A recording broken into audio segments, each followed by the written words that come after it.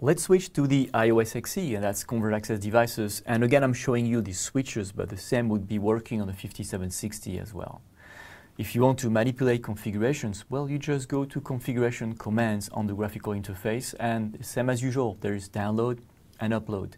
Notice that upload works for configuration, but upload would not work for code. Here, just like on the AireOS, you can upload configuration files, but you cannot upload the code. The code is at cisco.com, you download it and you put whatever you need, but you cannot copy code from one device to the other. But configuration, you can.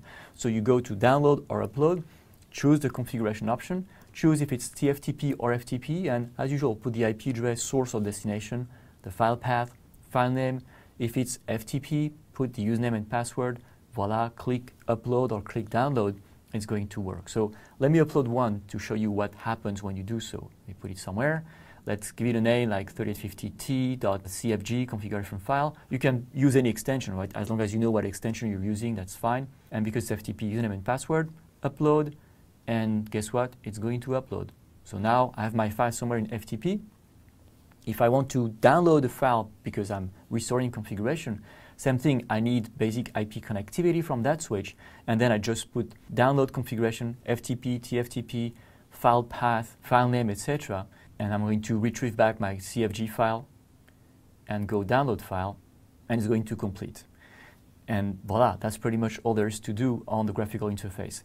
You can do the same, of course, from the CLI.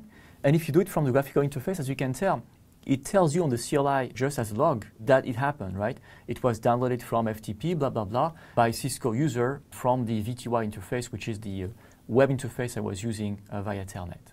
If you are a CLI person rather than a graphical interface person, well, it's the same command as anywhere else on IOS. So it's copy from TFTP, for example, to running config, or from FTP to startup config, depending on if you want to run the config or if you want just to save it and reboot. And because it's copy, right, you can also do the other way around. You say copy running config to FTP, copy running config or startup config to FTP, etc. So it's the classical IOS command here as well. Pretty simple.